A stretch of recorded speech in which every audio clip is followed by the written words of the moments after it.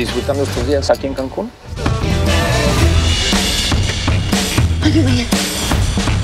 Vengo huyendo del príncipe Hassid Hassid.